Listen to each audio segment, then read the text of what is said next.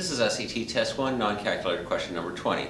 College Board gives us the uh, equation a equals 5 root 2 and asks us in 2a equals root 2x, what is the value of x?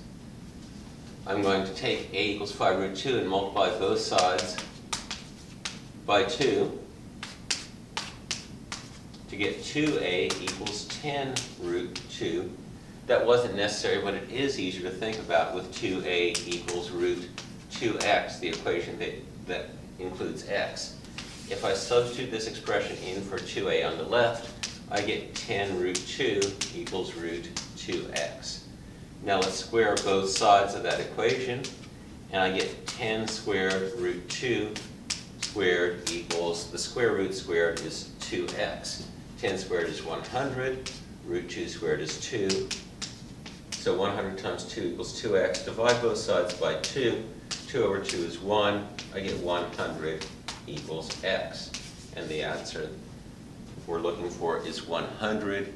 If I wanted to check that, I probably wouldn't take time to check on problem 20. Either I'm comfortable with this or I'm more worried about other answers. But if I did want to check that, I would say 2a equals root 2x is root 2 times 100.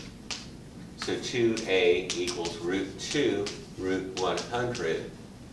2a equals root 100 is 10, so that's 10 root 2.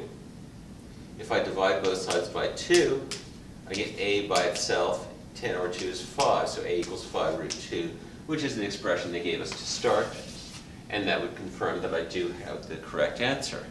College Board will typically ask you a question involving radicals or rational exponents, or both.